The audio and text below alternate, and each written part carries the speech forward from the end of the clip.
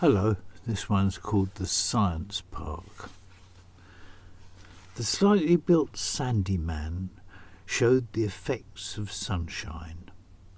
One might have thought from a sun lounger by some exotic sea, but Professor Johnson was recently arrived home from a working expedition far from any coast. While he had been in Africa, the diaspora of the university science establishment had left their scattered post-war prefabricated semi-permanents and relocated as a single department in a purpose-built science park.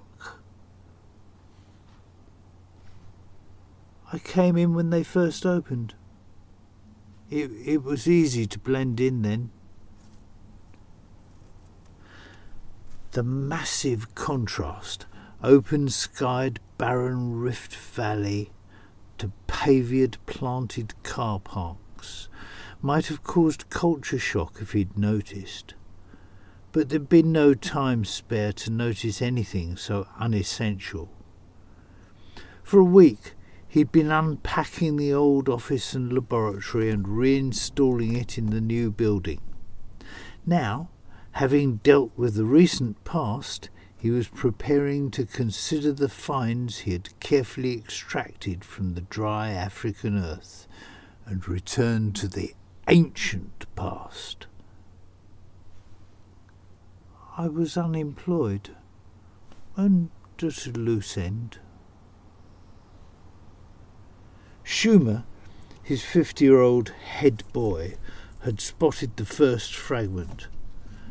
Sometimes they'd walk for days and see nothing, but when there was something to be seen, nine times out of ten, Schumer would be the one to spot it. This time it was under a dry thorn bush just outside camp. The other men had been passing it daily to fetch water Schumer, because of his age and elevated position, had avoided this task for three days. Then, on the first occasion he'd ventured forth in that direction, he returned triumphant with the thumbnail sized fragment of fossilized humanoid bone. Then, they had laboured under the remorseless African sun with tender care and attention, excavating until a hole roughly the size of his new laboratory had replaced the dry thorn bush. Everything that came out of the hole they sieved, watching keenly for fragments of bone senses sharpened by the small bonus Johnson paid for each one. Over the long weeks he spent with these men, he came to look on them as friends. He knew the wage they were paid was good by local standards, but he also knew he depended on them, and it reconciled him with his sense of fairness to pay the bonus from his own pocket. The workers were carefully picked by Schumer. Johnson would not have had the heart to refuse a man work. The quiet optimism of his Quaker boarding school and the religious society of friends' ability to find worth in others had infused him deeply. He believed that progress and knowledge resulted from man's social nature that he is good given the opportunity. Things like the recent discovery by one of his colleagues of grave goods in a Neanderthal burial excited him immensely. He felt proof of social wellness in a species separated from us so early on, pointed towards it being something basic in our nature.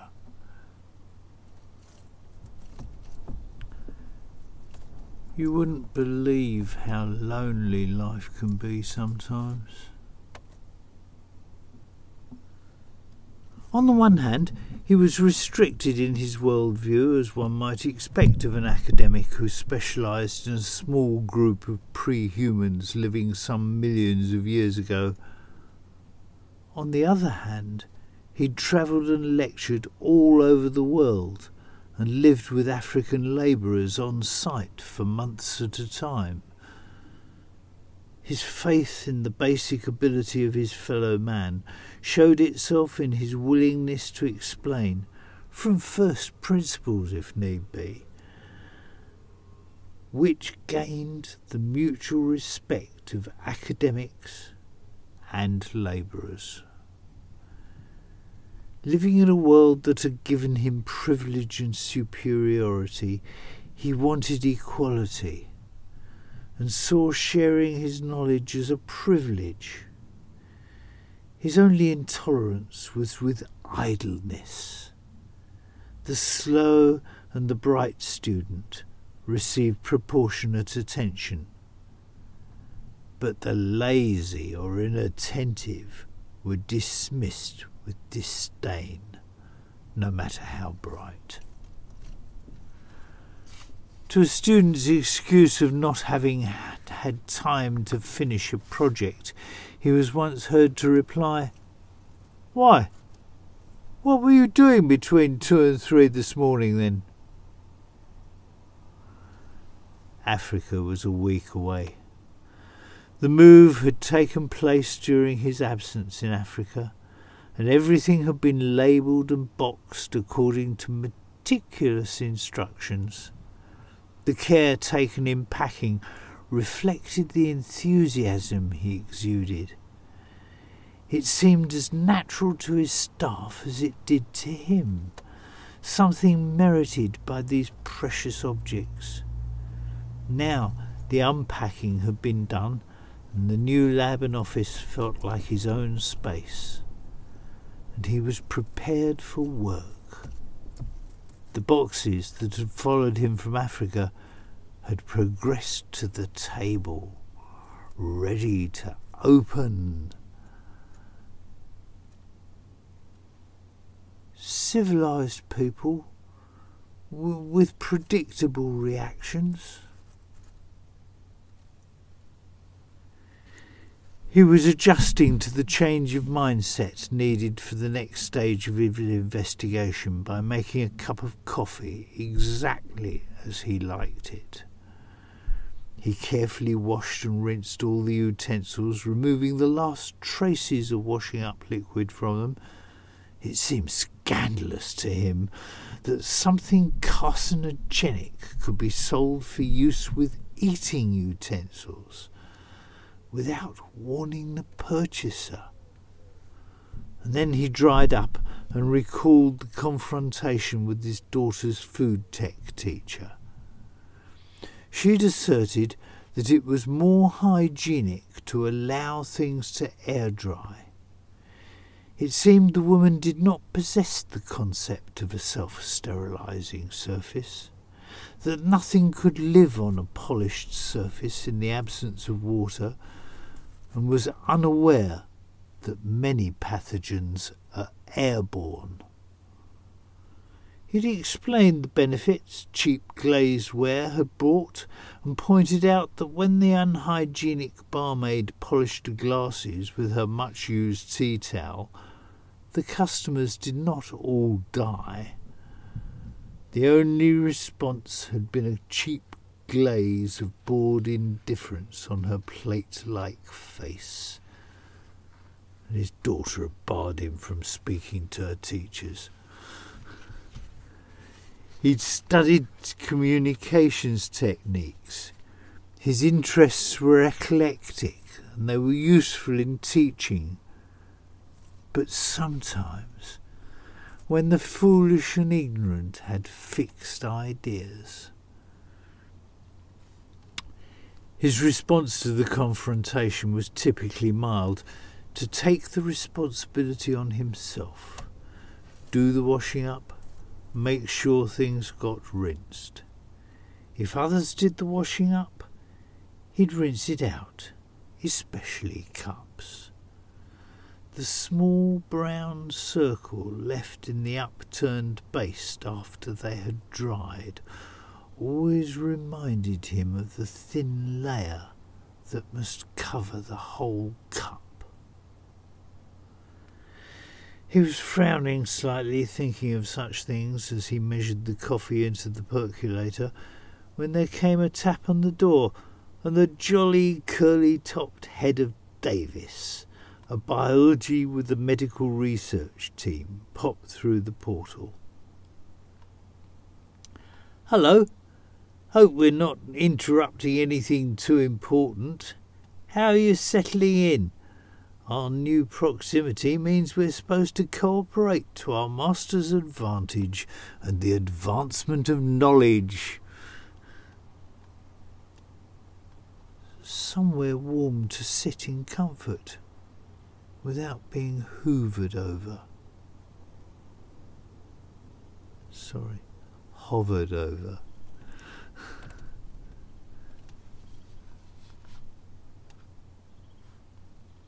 Perfect timing. I was just measuring the coffee, Johnson replied.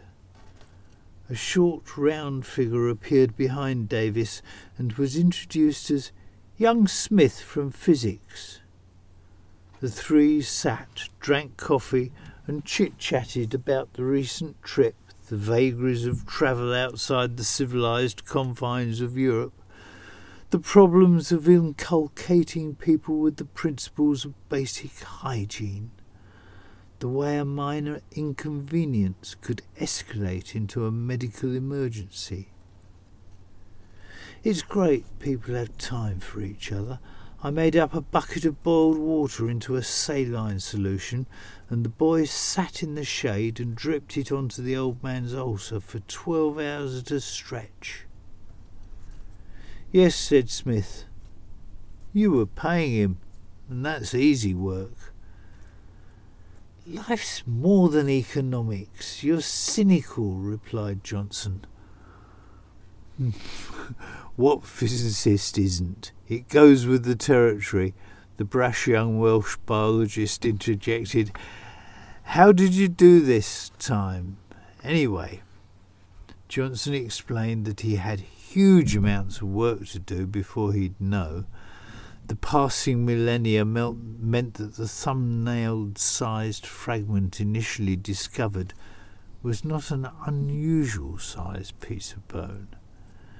Further, a skeleton would not be anything like complete, so the next step was something like doing the most complicated jigsaw imaginable with a lot of the bits missing and a rough sketch of the picture. The early stages were easy though.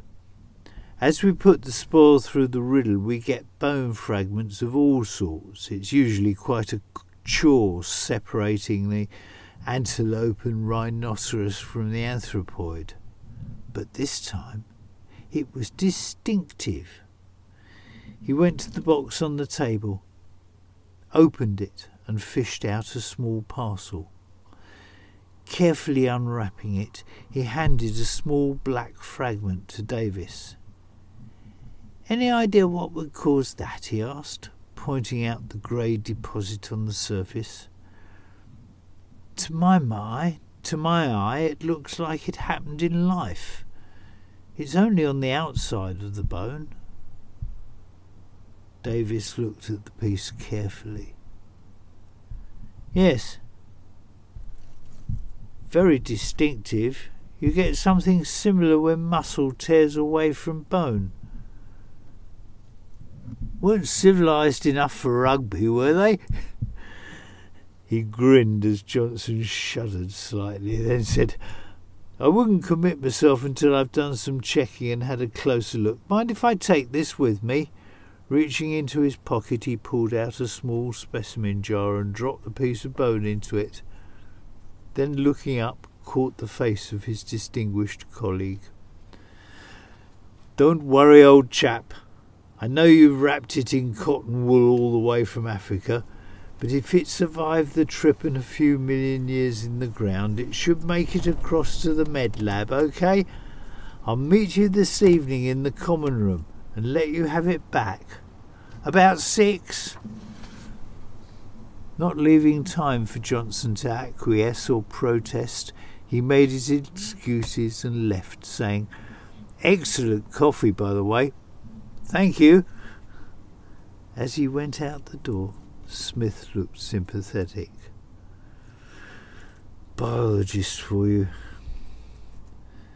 They spend so much time in the field dealing with the real world. I spend a fair bit of time in the field myself, Johnson replied, slightly piqued. Yes, but your targets have stopped moving. Makes life a bit simpler. Wish mine would stop still for a minute, but it's not in the nature of the physical world. What's your line of research? asked Johnson politely, remembering himself. Light, photons, tricksy little devils. One minute they look like particles blend, bending as they come past the sun and such. Next, they're more like radio waves with different wavelengths showing different colours. Uh, so, which are they? asked Johnson. Well, neither, of course.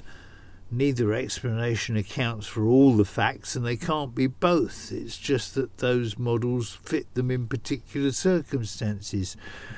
There must be some other overall explanation. I'm trying to build a mathematical theoretical model. Our five senses have provided us with the theories to describe the macro world, but when you get below a certain size, they just don't apply anymore. Trouble is, that leaves me searching in the dark, so to speak. It's a bit like having a very small butterfly net in a darkened barn, trying to catch the moths. I think it may be flying sil- I think maybe flying silently about. Oh dear. And have you ever caught any, so to speak? Johnson replied, sounding genuinely concerned at the severity of the other's quest. Sorry, said Smith, catching the slight irony of the repeated so to speak. It's almost impossible to explain something while deliberately avoiding the analogy of the ordinary senses, and oversimplistic if you don't. However, the question of whether I caught any is pertinent. You see, confidentially, I'm pretty sure I have. But where I, when I do, there is always something missing. Mathematically, you can't have that. The books have got to balance. Matter and energy can be neither created nor destroyed, you know. I'm familiar with the concept. I think it's fairly basic, scientific one, Johnson answered, a touch dryly. Then, relenting again, as was his nature, uh, when I was a little boy, shadows used to worry me. They seemed so real, I couldn't grasp the concept of them being a mere absence, and wondered where they went when the sun went in. They both smiled, and then in the moment of slight awkwardness that followed, Smith made his excuses, saying he would also be in the common room that evening to satisfy his curiosity regarding the strange growth on the bone.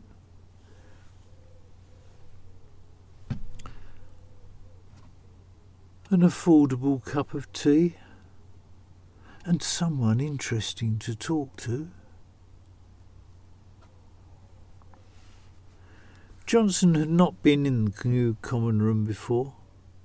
Partly he was not a naturally gregarious man. He loved mankind communally and intellectually, but individually and socially he found his fellow man wearing. But further, his workload had simply not allowed it. He was impressed. There was a small bar with a young lady serving quite acceptable hot drinks and selling occasional bottles of beer. from a fridge where she also kept the milk. Soya, semi-skimmed or normal, sir? He was even more impressed. Then there were the seats. He realized that he had become used to the modern concept of seating, designed to maximize customer through flow. These were actually comfortable to sit in, and he had the impression that they might outlast some of their older inhabitants rather than rapidly turning into useless pieces of junk.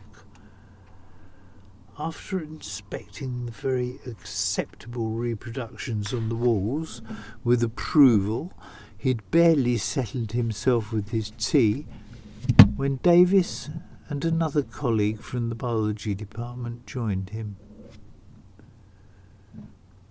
Clutching a bottle of beer, Davis dropped heavily into the seat opposite and back past the specimen jar containing the bone sample across to him. Johnson caught it awkwardly and was anxiously checking the contents to see if the rough handling by the alcohol imbiber had caused any damage, when Smith also joined them. Stowing the precious jar away, Johnson looked up as Smith sat down. Quite a decent cup of tea here, he said, pointedly looking at Davis's beer. Not bad, said Smith. Then noticing the direction of Johnson's look, lucky devil, lives within walking distance. I have to wait till I get home before I can have a beer. Still, it's a nice walk to the pub after dinner. Johnson sighed inwardly. Like the educators of his youth, he was not a proselytizer, but relied on the effect of example to spread his creed. It was depressing that people, even among those trained to observe, could be so unobservant. How are you getting on with your moths in the barn? he asked Smith by way of politeness. Moths in a barn? echoed the stranger with Davis. Are you a biologist as well? No, no, a physicist. It was an analogy. I said something was like trying to catch moths in a darkened barn with a butterfly net. The biologist smiled. They shriek, you know. Moths. They give out ultrasonic signal. That's how bats and little owls find them. It's not just the famous echo sounder effect. Well, thank you, Mr. Uh, Professor, said Smith, looking suddenly thoughtful. I'm sorry, interposed Davis. Have you not met at all? This, this is Professor Hargreaves. I showed him your samples. Johnson, more than his line than mine. There was a general shaking of hands and all round introductions, and then Johnson asked, Did you come to any conclusions? By then, I was a regular. Everyone simply accepted me. Well, yes, quite a surprising one, really. Of course, we're dealing with an extinct species of which we know next to nothing in metabolic terms, but unless it's caused by some viral infection previously unobserved or some such unlikely event, I think I could say with some degree of certainty it's down to vitamin A poisoning. I love the way my fellow scientists get cautious when they're around one another, said Davis. Earlier he was pretty damned unequivocal about what caused it. He's right to be cautious, said Johnson. I once found an early human encampment littered with gazelle bones.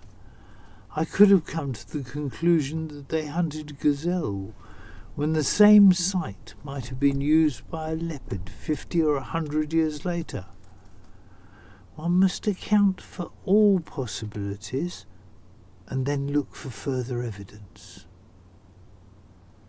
Very true, replied Hargreaves, except in this case the damage exactly replicates what one would expect from vitamin A poisoning, and there's never been any other cause demonstrated for such damage. Really, I think it's pretty conclusive. You must have found a bloody big field of carrots, said Smith, smiling.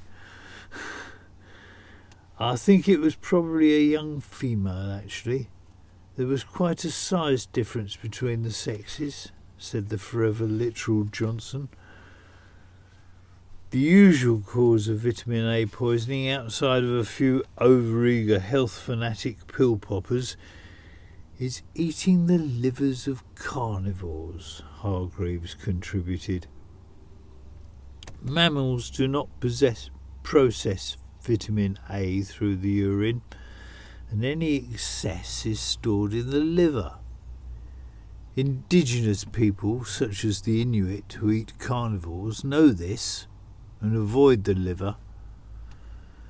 But there was a terrible case of Antarctic Antarctic explorers who were unaware. They ate their dogs to avoid starvation. Ironically, the one who was sickest was given the liver as the choicest morsel because he was sick. The excess vitamin A breaks down a layer covering the bone that the muscle attaches to. When the muscle is used, it tears away from the bone and has nothing to lever against any more. Absolutely agonizing, and it leaves the victim helpless. After a while, you start to believe your own story. There was a moment's silence as they considered the implications of this for a young female anthropoid on the Pleistocene plain. Very nasty, said Johnson, but I don't see why you think it so surprising. All the indications we have point towards them having been scavengers. The normal modus operandi for scavengers is to drive a carnivore off their kill Although there are only a few carnivores compared to herbivores, a dead one would likely be quite old and tough. The liver would be a natural part to go for. I suppose they might manage to kill a carnivore occasionally while driving it off, said Smith. That would be unusual, said Davis. Most animals know their limits and only stop to fight if they think they can win. That would explain why they don't know, know to avoid carnivore liver. A random chance occurrence, responded Smith. I think there's something I've not explained adequately, said Hargreaves. The layer we're looking at is not the direct result of the damage, but rather the body's attempt to repair itself. She must have survived the poisoning for several months for this to have grown. The immediate conclusion that presents itself is that she lived in some sort of group that had sufficient social structure to provide support for its sick. She could never have survived alone. Amazing, said Smith to draw behavioural conclusions from fossilised bones millions of years old. One mustn't jump to conclusions, but I can't think of another explanation, Hargreaves replied. I made myself a good listener. It was interesting, so it was easy.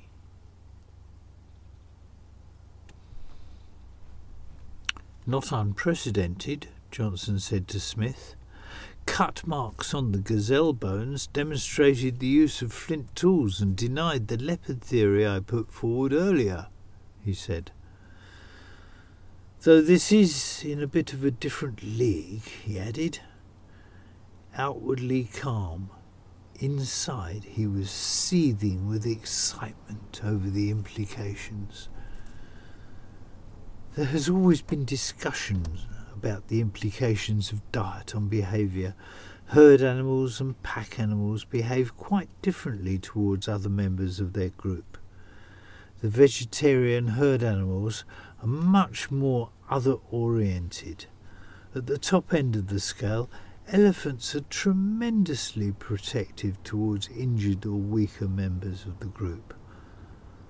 On the other hand, in pack animals like dogs, the dominant bitch rules by fear. Her puppies survive, and she methodically kills any born to other, another bitch.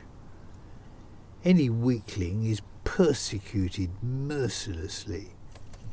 It's dog eat dog, and the weakest go to the wall, said Davis. But if man was a carnivore at that time, how does that fit in? asked Davis. Well, he was probably carnivorous, Johnson replied. He could have been an omnivore. Evidence is scarce. We know they ate meat, though, because bones remain where vegetable matter vanishes.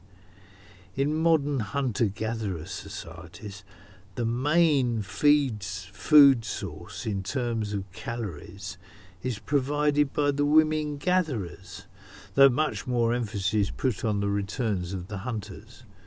We don't really see him as a hunter at this stage, much more a scavenger, and driving off a carnivore with his prey is a fairly cooperative affair. So there's room for social development there. There's no way of knowing how much of a part gathering played in their diet. I remember reading Jane Goodall, said Smith. Those Gombe River chimps behave quite differently when they hunted meat. Eating communally, hunching protectively over their food like people in restaurants. Yes, and they hunted it communally. Ideas were starting to fly. Professor Hargreaves chipped in. As a young man, I had some interest in feral children. The Jungle Book thing is a pure myth. Children raised by wolves are savage and remain savage. If captured, they appear unhappy, fail to learn, and die young. On the other hand, there was a case of a young boy who came in an ostrich nest just as the eggs were hatching and went off with them. He was away some years before returning to his family. He grew up normally and spoke of the period with affection in later life, They appeared to have had no concept of how long he'd been gone at the time. Then there was a Frenchman who found a boy living wild with gazelles in the Spanish Sahara. It was a teenager, and appeared, he appeared to have grown up with them. He was well adjusted to his group and he had a place in the herd structure. During the Age of Reason, the wild boy of Avignon was discovered. He appeared to have subsisted on his own, on berries and nuts, for some years before he was found. The general conclusion seems to be that humans fit in well with herd animals, but being with carnivores screws them up totally.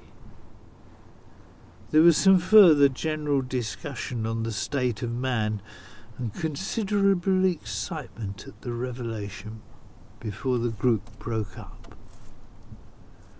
But strangely, it was Smith, the physicist, who had spent most of the latter part of the evening in deep contemplation who seemed the most enthused as they went their separate ways.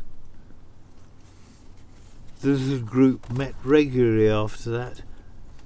People were seconded into it and sometimes dropped out, but the core group remained and the subject was always man, his motivations, drives, and social bondings. Although Smith the physicist remained part of the group and was often present, he remained generally in the background, mostly contributing questions to the biologists and social scientists. Johnson, the paleontologist, was a trifle surprised when Smith approached him one day and asked if he might demonstrate something which might be of interest. He'd agreed from common courtesy and continued in his work, not thinking of it again until Smith tapped at his door at the agreed hour. Smith shelved his current task and hospitably invited him in. Whilst he was preparing coffee for them, the young man explained that his studies had achieved some considerable advances. It was very largely down to a couple of things that you and a biology professor said, and I really felt you deserved to be among the first to see the results, he said. They sat down together with their coffee and he elaborated.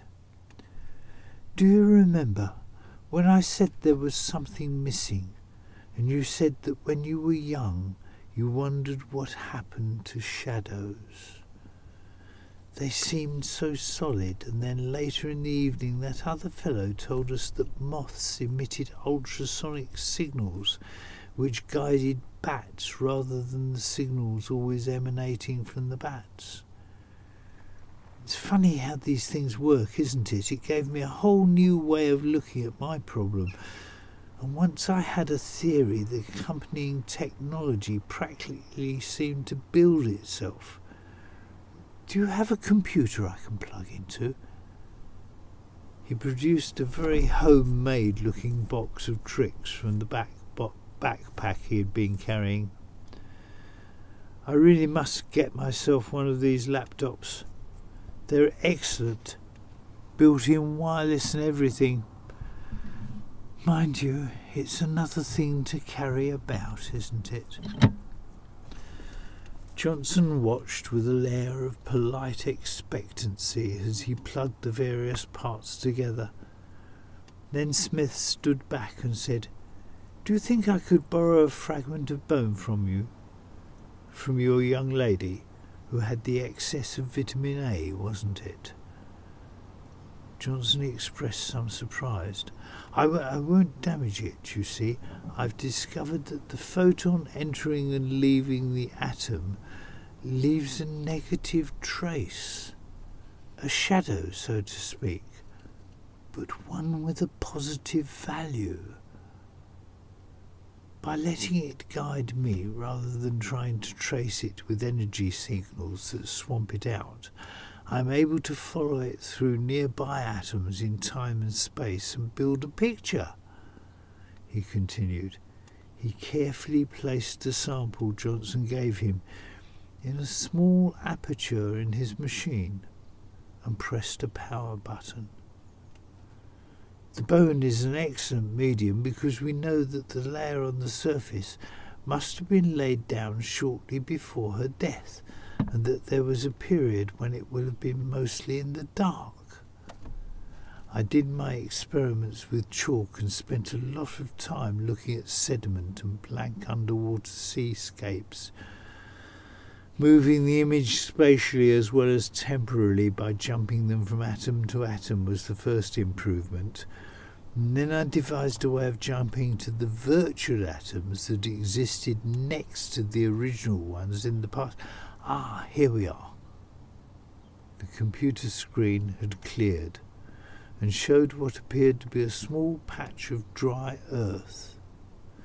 Then, as Smith manipulated the controls, backed off to a wider picture of what Johnson instantly recognized as Africa, with a small group of anthropoids in view.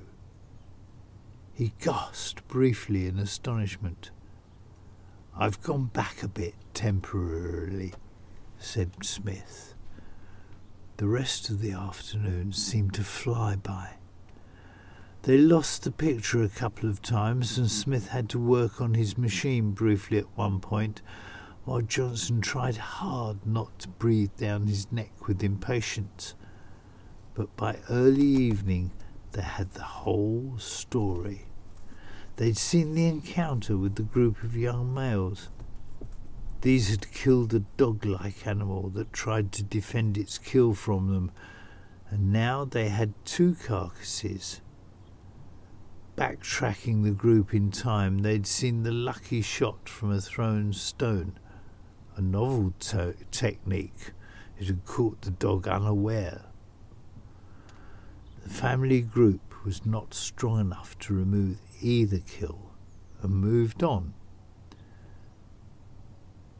But one of the young females had stayed behind on the fringes of the group of young males. She was too cautious to come near them, but they'd seen one of the males remove something from the dog secretively and carry it to the other carcass. Then pretend to remove it, carry it to a large stone, and leave it for her so that she could eat unmolested. After she had rejoined her family group, the young males had followed it until she dropped out, unable to carry on. They watched in horror the abduction and repeated rapes, alternating with apparent tenderness as they fled her and maintained her as their sex slave. Remarkable. Absolutely remarkable, said Johnson. I can't wait to show my colleagues. Oh no, said Smith, looking dismayed. Um, I've had no doubt that someone else will come up with the principle independently eventually, but I really couldn't take the responsibility of releasing such a thing on the world. There's no reason why it shouldn't be used on the most more recent past. It would destroy privacy. You saw what mankind is descended from. They discussed it for some time before Smith left, but he was adamant.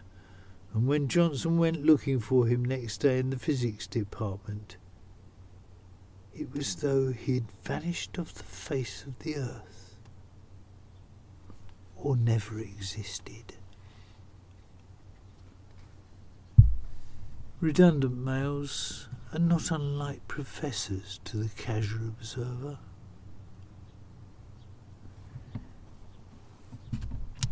It was two weeks before Johnson managed to trace him, and another week of research before he knocked on his door and greeted him by a name that was not Smith, and was reluctantly invited in. When Davis struck up a conversation, he introduced himself as a biologist. So I picked physics as the subject he was least likely to be knowledgeable in or want to talk about. It worked beautifully. He's a nice chap. Company was like a gift of manner. After a while, you start to believe the part for yourself. Then you made the reference about the leopard. Something about the way you put it struck me. It made me want to demonstrate alternatives to your snug story and goody goody people. But I was a physics professor, not any part of the natural sciences. I had to find a way of demonstrating it as, as uh, what I was. A part of me never believed that you'd swallow it. Professor Smith and his time machine. Partly the desire to believe, and the fact that I thought you were part of our community, but also the work and knowledge you put into it, and your destruction of that gossamer web of fantasy that we were constructing more than justified it. I fully deserved to be brought down a peg or two That's the remit of novelists, not scientists. It wasn't that hard. The CD player came from the charity shop, and I used Photoshop on the library's computer. There wasn't much more to it. Not the technology, the concept, the accuracy, the research and original ideas, like the fur and making her beautiful. We're so used to the convention that primitive means ugly. He drew breath briefly. Now, I had a word with Professor Jones in psychology. His speciality is criminality, and he found your story interesting enough that we could get you in there. But really, I think you'd be better off in the philosophy department.